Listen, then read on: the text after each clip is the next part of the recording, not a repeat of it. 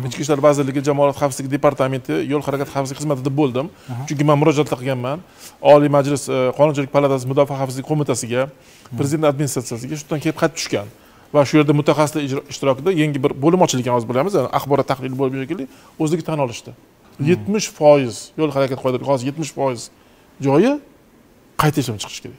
Bu juda yam katta katta tushunyapsizmi yetmish foiz degani bu grammatik imlo xatolari emas bu yerda kecha menga aytyapti bittasi shu mustafa demak ayni kunda o'sha hozir yetib keladi yetmish foizlik kamchilik bilan chiqyapti u grammatik xatolar emas imlo xatolar emas bitta o'zi umuman yo'l harakati qoidalari bitta virgul tinish belgisi ham joyida ishlatilmasa iloji yo'q bu narsani.